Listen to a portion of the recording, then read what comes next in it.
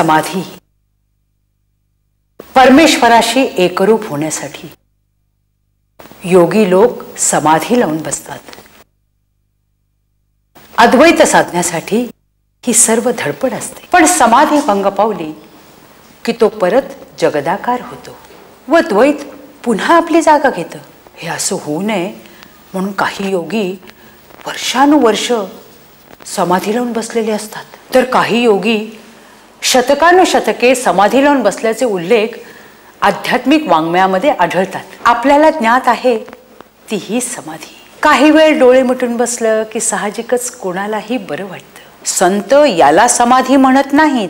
एकनाथ महाराज म्हणतात ताठस्थ नाव समाधी या नाव ठकली बुद्धी. मग खरी समाधी काय आहे? डोळे उघडे ठेवून समाधी साधता येते का?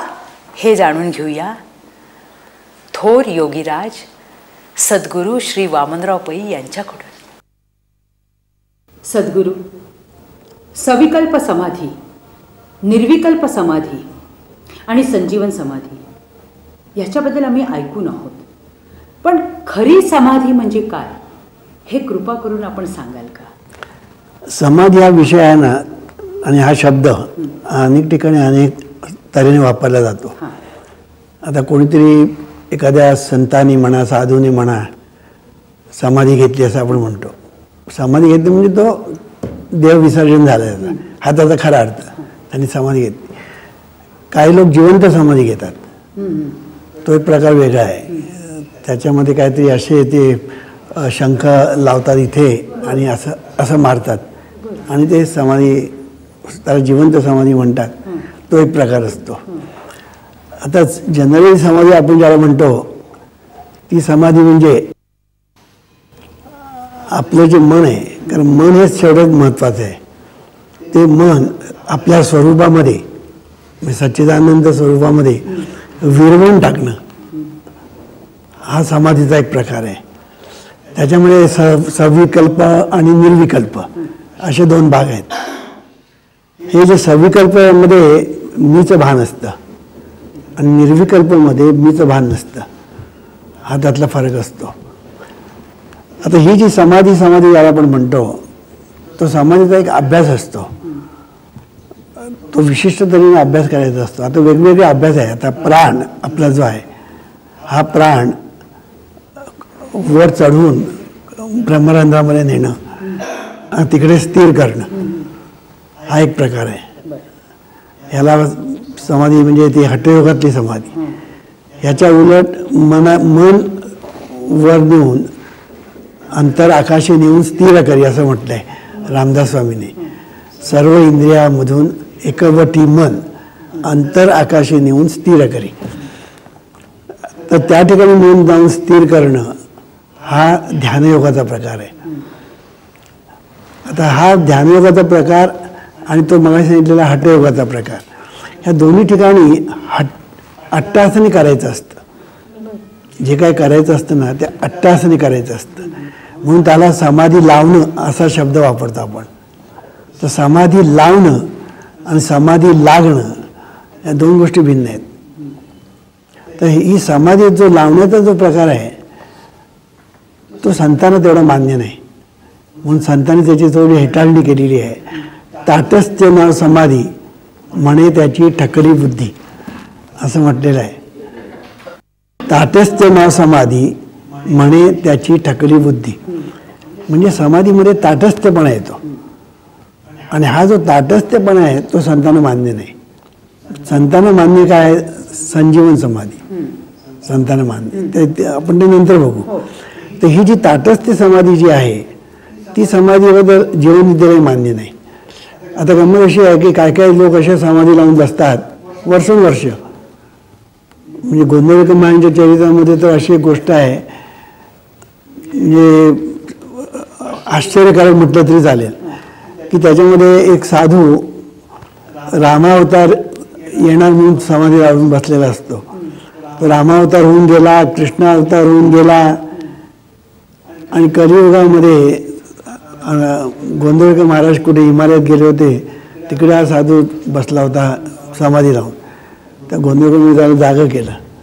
जागं केल्यानंतर तो म्हणतो रामावतार झाला का? म्हणजे. हा त्याने सांगितलं रामावतार झाला कृष्णावतार झाला आता चालू आहे कलियुग चालू आहे. तर सांगायचा मुद्दा असा आता हे असे तऱ्हेचे जे समाज लावून जे बसतात आता ह्याच्यामध्ये एक पुष्कळ वेळा कितपत म्हणजे पूर्ण सत्य असतं का ऐकणे ऐकवी गोष्टी असतात. पण त्यातला एवढंच आपण भाग घ्यायचा की लोक समाधी लावून बऱ्याच वेळ बसतात. कळलं की नाही? तर हा जो समाधीचा जो प्रकार हा जीवनविद्याला मान्य नाही. जीवनविद्याला मान्य आहे तो संजीवन समाधी. संजीवन समाधी किंवा त्याला हरीची समाधी असं पण म्हटलं आहे समाधी हरीची. न साधेल द्वैत बुद्धी समाधी हरीची समसुखे विणं न साधेलं जाणं द्वैत बुद्धी असं हरिपाठात एके ठिकाणी आहे. आणि शेवटी म्हटलं निवृत्ती देवी ज्ञान ते प्रमाण संजीवन हरि संजीवन हरिपाठ असं म्हटलेलं आहे. समाधी संजीवन हरिपाठ हे जे समाधी संजीवन म्हटलेलं आहे ना संजीवन समाधी ती जीवनविद्येला मान्य आहे. आता सं जीव संजीवन समाधी म्हणजे काय? की या समाधीमध्ये समाधी म्हणजे समधी. धी म्हणजे बुद्धी. बुद्धी हरीशी म्हणजे देवाशी सम करणं म्हणजे समाधी. आता ही बुद्धी हरीशी सम करायची जर असेल तर त्याच्यासाठी पुन्हा साधना करायला पाहिजे. साधनेशिवाय काय हे होत नाही. आता ही साधनं दोन प्रकारची असते. एक अव्यक्ताशी समाधी साधणं आणि एक व्यक्त व्यक्तामध्ये जो परमेश्वर भरलेला आहे त्याच्याशी समाधी साधणं. या दोन्ही ठिकाणी तुम्हाला समाधी साधता आली पाहिजे. लक्षामध्ये आलं की नाही? आता अव्यक्तमध्ये जे समाधी साधायची असते त्याला फार कष्ट असतात. तो योगाचा मार्ग जो आहे तो फार कष्टाचा मार्ग आहे त्रासाचा मार्ग आहे. टाईम कन्झ्युमिंग ज्याला म्हणतात म्हणजे वेळ फार लागतो त्याला. आणि इतकं करूनसुद्धा साध्य हातामध्ये येईल ही शक्यता फारच कमी असते. कारण तो मार्गच कठीण आहे. मी स्वतः ज्ञानेश्वर महाराजांनी सांगितलं आहे ज्ञानेश्वरीत योग मार्ग धरू नका. कष्ट उर तिल देखा म्हणजे योग मार्गाला तुम्ही गेला तर तुम्हाला फक्त कष्ट तुमच्या वाट्याला येतील. असं केलं आहे दुसऱ्या ठिकाणी असं म्हटलेलं आहे योगाची या वाटा गेले जे सुबटा तया दुःखाचा शेलवाटा भागा आला. मग त्यांच्या वाट्याला काय आलं? शेलवाटा म्हणजे दुःखाशिवाय दुसरं काय आलंच नाही. त्यांच्या वाट्याला फक्त दुःख झालं जे योगाच्या वाटेला गेले ते. म्हणून आम्ही नेहमी सांगतो की योगाच्या वाटेला तुम्ही जाऊ नका. तो आपला मार्ग नाही आणि गृहस्थाश्रमीचा तर तो मुळीच मार्ग नाही. आज काय झालेलं आहे गंमत जो तो उठतो तो ह्या मार्गाला जातो. आणि ह्या मार्गात जाण्याचा त्यांचा मुख्य हेतू म्हणजे त्यांना असं वाटतं की ह्या मार्गाने आपण गेलो की आपल्याला सिद्धी प्राप्त होईल. अर्धी सिद्धी. त्या प्राप्त झाल्या की आपल्याला चमत्कार करता येतील. मग चमत्कार केले की आपल्याला प्रतिष्ठा मिळेल प्रसिद्धी मिळेल पैसा मिळेल. म्हणजे कुठला तरी हेतू बाळगून ते या योग मार्गाला जातात. आणि शेवटी ते फसतात. त्यांना कष्ट मगाशी म्हटल्याप्रमाणे त्यांच्या पदरामध्ये फक्त कष्ट पडतात. आता हा योग मार्ग जो आहे तो गृहस्थाश्रमी लोकांसाठी नाहीच. इवन संन्यासी बिन्यासी ते सुद्धा करू शकत नाही हा मार्ग. इतका तो कठीण आहे. कळलं की नाही? आता हा जो मार्ग जो आहे कठीण आहे मार्ग त्याचं कारण का? त्याचं कारण मनाला बळजबरीने स्थिर करणं स्वरूपाच्या ठिकाणी ही गोष्ट किती कठीण आहे? म्हणजे एका ठिकाणी अर्जुनाने म्हटलेलं आहे चंचलमी मन कृष्णा प्रमाती बलवदृढम तस्याम तस्याहम निग्रम म्हणजे वायोरिव सुदुष्करम. म्हणजे वाऱ्याची मोड बांधणं जेवढं कठीण आहे तसं या मनाची मोड बांधणं कठीण आहे. कारण मन हे इतकं चंचल आहे इतकं तुमच्या एका क्षणात किती विचार येऊन जातात एका क्षणात. आणि तिथे तर तुम्हाला वृत्तीरहित व्हायचं असतं. थॉटलेसनेस आता थॉटलेसनेस तुम्हाला जर व्हायचं झालं वृत्तीरहित करायचं झालं हे काय सोपं काम आहे का? हे सोपं काम नाही आहे. आणि संसारी माणसं कसं शक्य आहे? तो बसला ना ध्यानाला की सगळा संसार तिकडेच येईल आणि गंमत तुम्हाला सांगतो की एरवी तुमच्या मनामध्ये कुठलेही अनिष्ट विचार येणार नाही पण तुम्ही ध्यानाला बसलात ना की नको ते विचार तिकडे या. चिंती मन मन चिंती ते वहिनी न चिंती. तसले घाणेरे सगळे विचार बरोबर तुम्ही ध्यानाला बसलात की येतं. म्हणून ध्यान हा जो प्रकार आहे हा प्रकार जीवनविद्येलाही मान्य नाही. मला काही म्हणायचं जीवनविद्येमध्ये ध्यान हा प्रकारच नाही आहे भान हा प्रकार आहे. कळलं की नाही? भान. देवाचं भान घेणं आपल्या हृदयामध्ये जो ईश्वर आहे त्याचं भान घेणं. तो भान घेण्याचा जो अभ्यास आहे तो आगळा आणि वेगळा आहे. त्याचं वर्णन केलेलं आहे संतांनी की स संत रामदास स्वामी फार सुरेख सांगतात. अगदी सोप्या सोप्या शब्दात. पाहावे आपण असे आपण या नाव ज्ञान. ज्ञान म्हणजे आत्मज्ञान. पाहावे आपण असे आपण या नाव ज्ञान. म्हणजे आपण आपणाला पाहणं ही एक साधन आहे. आता आपण आपणाला पाहणं किती कठीण आहे? डोळ्यांनी डोळ्याला पाहायचं. किती सु- कठीण आहे की नाही? किंबहुना डोळा डोळ्याला पाहू शकत नाही. तुम्ही जग पाहता पण डोळे डोळ्याला पाहू शकत नाही. आणि इथे आपण आपणाला पाहिजे मग किती कठीण आहे? पाहता येतं. पाह पण पाहता येतं म्हणजे याचा अर्थ काय? अनुभवता येतं. पण डोळ्याने आपण पाहू शकत नाही. पण अनुभव त्याचा घेऊ शकतो. तर हा जो अभ्यास आहे हा संतांनी सांगितलेला आहे. ज्ञानेश्वर महाराजांनी पण सांगितलेलं आहे. चित्त परतोनी पाठीमोरे ठाके. आणि आपण या ते आपण देखे. देखत खेळ म्हणे तत्व ते मी तिये ओळखी सरीसे सुखाच्या साम्राज्य बैसे चित्त समरसे विरोनी जाय. म्हणजे आपलं हे जे चित्त आहे मन आहे ते उफराट करायचं. उफराट. आणि उफराट करून कोणाला पाहायचं?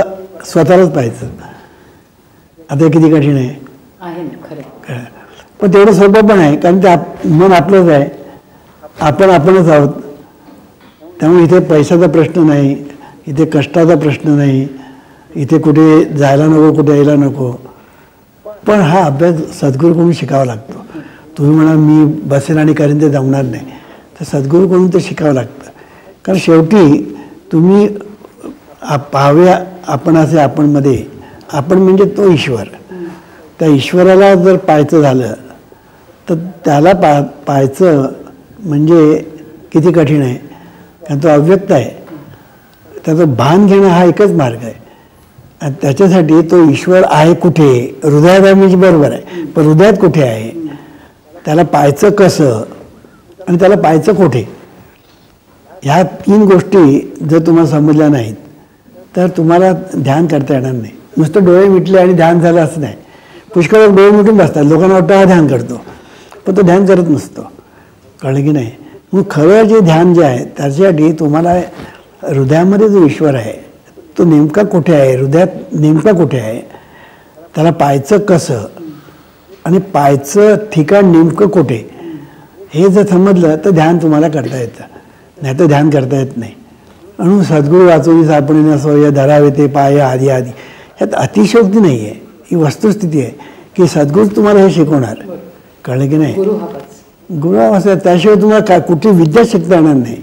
मग अध्यात्म विद्या तर सर्व विद्येमध्ये श्रेष्ठ आहे. पण लोकांचं काय झालं आहे अध्यात्म विद्येबद्दल गैर गैरसमज झालेले आहेत. कळलं की नाही? नुसतं देवाचं नाव घेतलं की झालं अध्यात्म कुठे पोथी वाचली झालं अध्यात्म कुठे उभा आडवं गंध लावलं झालं अध्यात्म तीर्थयात्रा केली झालं अध्यात्म हे असं ह्याला अध्यात्म म्हणत नाही. म्हणून खरं जे अध्यात्म जे आहे ते वेगळं आहे. आणि म्हणून ह्याच्यासाठी हा जो अभ्यास आहे हा अभ्यास हा महत्त्वाचा आहे. या परमार्थाच्या साधनेमध्ये अभ्यास हा महत्त्वाचा आहे. आणि हा अभ्यास समाधी लावायची नसते समाधी लागली पाहिजे. कळलं की नाही? आणि म्हणून ही समाधी लागण्यासाठी जे निन्याळे तऱ्हेचे जी साधनं आहेत पुष्कळ साधनं आहेत. पण त्यामध्ये सर्वात उत्तम साधन म्हणजे नामस्मरण. आता नामस्मरणामध्ये पुन्हा दोन प्रकार आहेत.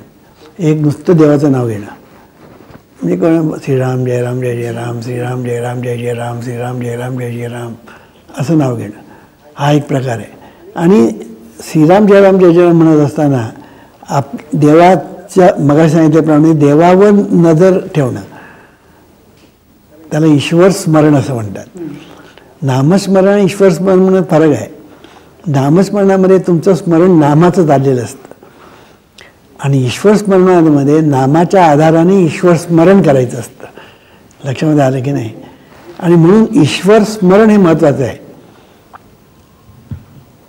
नामस्मरणाच्या द्वारे ईश्वर स्मरणापर्यंत आपण जाऊ शकतो. पण त्याला सुद्धा सद्गुरू पाहिजे. सद्गुरू म्हणून सद्गुरूकडूनच अनुग्रह घ्या असं जे सांगितलं जातं. त्याचं कारण ते आहे की सद्गुरू तुम्हाला शिकवतात.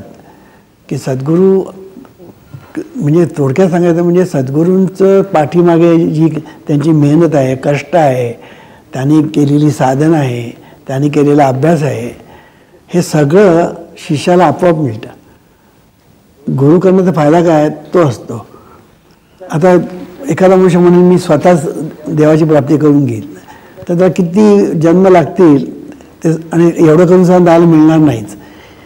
आणि म्हणून त्याला कोणाचं तरी मार्गदर्शन पाहिजे. मार्गदर्शन असेल तर तो पटपट पटपट मुकामा जाऊन पोचू शकतो. आता तुम्ही इथे बोरवली एक आमच्या कार्यालयात येण्यासाठी तुम्ही म्हणा मी कोणाला विचारणार नाही. तर तुम्ही पोचणारच नाही ते पण तुम्ही जर एक चार पाच लोकांना विचारलं भर बर बर भर भर तो सांगा अरे असं जा. दुसरा म्हटलं तर असं जा. मग आणखी असा झालं तुम्ही लगेच पोचलात म्हणजे मार्गदर्शनाचा जो फायदा आहे तो अप्रतिम आहे. आणि त्याच्यासाठीच सद्गुरू पाहिजे. पण आज काय झालं? सद्गुरू जे असतात ते फक्त उदी भस्म अंगारे दुपारे पाद्यपूजा अभिषेक वगैरे वगैरे गोष्टीमध्ये लोकांना गुंतवून टाकतात. तीर्थयात्रा करा. आणि ह्याच्यामध्ये गुंतून टाकतात. कळलं की नाही? वास्तव याच्यामध्ये गुंतवण्याचं काहीच कारण नाही. त्याचा आणि याचा काही संबंध नाही. परमेश्वराचे आणि याचे खरं म्हणजे काही संबंध येत नाही. कळलं? म्हणून मग म्हणून तुकाराम एकाने म्हटले करावी पूजा मनेची उत्तम. लौकिकाचे काम काय असे? तुम्हाला देवाची पूजा करायची आहे मनानेच करा ना. त्याचे लौकिकाचा भागच नाही. आणि म्हणून हे सगळे जीवविद्येमध्ये जे शिकवलं जातं त्यामध्ये लौकिकाचा भाग नाही. आणि जर असला तर अगदी वन पर्सेंट. जो भाग आहे तो सगळा करावी पूजा मनेची उत्तम. असा आहे. तर हा जो भाग आहे आमचा त्याच्यामध्ये देवाला पाहायचं कसं कोठे आणि देवाचं नेमकं ठिकाण काय? हे हे सगळं सद्गुरू शिकवलं तुमचं ध्यान सुरू होतं. आणि हे ध्यान सुरू होतं म्हणजे काय? तो भान घ्यायला लागतो. भान कशात बघतो आपण? जी गोष्ट आपल्याला प्रत्यक्ष अनुभवता येते त्याचंच आम्ही भान घेतो. आता या ह्याचं तुम्ही भान घेऊ शकाल की नाही? हा ग्लास आहे. ह्याचं तुम्ही भान घेऊ शकता. कळलं की नाही? पण इथे ग्लासच नाही तर भान काय घेणार? म्हणजे भान घेण्यासाठी सुद्धा तुम्हाला ते तर अनुभव पाहिजे. ते पाहिलं पाहिजे. तर तुम्हाला भान घेता येतं. म्हणजे पहिलं भान घेणं म्हणजे पहिली त्याची ओळख होणं. देवाची ओळख होणं. ती ओळख झाल्यानंतर मग त्याचं आपण भान घेणं. भान घेता घेता घेता घेता सहवास होतो. सहवास होता होता होता होता त्याच्या हृदयामध्ये वास आपल्याला येऊ लागतो. वास झाला याचा वास आपल्याला येऊ लागतो. आणि मग हळूहळू तो देवाशी एकरूप होतो. देवाशी एकरूप होतो म्हणजे काय? की देवच उरतो आणि हा संपतो. कळलं की नाही? देव पाया गेलो तेथे देवाची ओनी ठेलो. तुका म्हणे धन्य झालो आजी विठ्ठला भेटलो. मग देव पाहायला गेला आणि हा देवच झाला. आता तुकारामांचा अभंग आहे पिकलिया शिंदे कडूपणे गेले. तेणे झाले पिकलिया शेंदे कडूपणे गेले. त्याने असं म्हटलंय शेंदाड असतं ते पिकलं की ते गोड होतं. पिकलिया शेंदे कडूपणे गेले. तैसे आम्हा केले पांडुरंगे. तसं आम्हाला पांडुरंगाने केलं की आमचं सगळं कडूपण गेलं. तर जीव असताना जे कडूपण होतं ते गेलं. आणि आता शिव झालो आणि आता मी सगळं गोड झालो. आनंदी आनंद. पिकल्या शिंदे कडूपणे गेले. तैसे आम्हा केले पांडुरंगे. काम क्रोध लोभ निमाले ठाईची. सर्व आनंदाची सृष्टी झाली. आठवण आठव गेले भावा भाव झाला स्वयंमेव पांडुरंग. तुका म्हणे भाग्य या नावे म्हणे जे संसारी जन्मे दे याची लागे. इथे काय झालंय? इथे आठवण आठव गेले भावा भाव झाला स्वयं एव पांडुरंग. म्हणजे मी स्वयं एव मी पांडुरंग झालो. म्हणजे देवाला पाहायला गेलो आणि मीच देव झालो. मी राहिलोच नाही देवच उरला. मी उरलोच नाही उरला तो देवच उरला. म्हणून एके ठिकाणी तुकाराम म्हटलेलं आहे की देह नवे मी हे सरे उरला उरे विठ्ठल. तो उरला उरे विठ्ठल जो आहे ना तोच उरतो बाकी मी सरतो. अशी अवस्था होते. ही समाधीची म्हणजे संजीवन समाधी. ह्याच्यामध्ये कसं असतं आतमध्ये तो देवाला पाहतो आणि बाहेरही देवाला पाहतो. तो दोन्हीकडे तो देवालाच पाहत असतो. आतमध्ये तो देवाला पाहतो ना त्याच देवाला तो बाहेरही पाहतो. कळलं की नाही? कारण आज जो आहे तोच बाहेर आहे. आणि बाहेर आहे तोच आत आहे. आणि म्हणून त्याला पाहणं दोन्ही ठिकाणी त्याला शक्य होतं. आणि ह्याला संजीवन समाधी असं म्हणतात. चालती बोलती समाधी. कळलं की नाही? आता ही समाधी साधायची असेल तर त्याच्यासाठी सद्गुरू पाहिजे. आता सद्गुरू करायचा की न करायचा हे तू ठरवायचं आहे. कारण तूच आहेस तुझ्या जीवनाचा शिल्पकार. खरी समाधी काय असते? हे आत्ताच आपण जाणून घेतलं सखोल ज्ञानासाठी जीवनविद्येचा अभ्यास करा. हे ईश्वरा सर्वांना चांगली बुद्धी दे आरोग्य दे. सर्वांना सुखात आनंदात ऐश्वर्यात ठे. सर्वांचं भलं कर कल्याण कर रक्षण कर. आणि तुझे गोड नाम मुखात खंड राहू दे. ईश्वरा सर्वांना चांगली बुद्धी दे आरोग्य दे. सर्वांना सुखात आनंदात ऐश्वर्या ठेव सर्वांचं भलं कर कल्याण कर रक्षण कर आणि तुझे गोणना दुखाद खण्डरा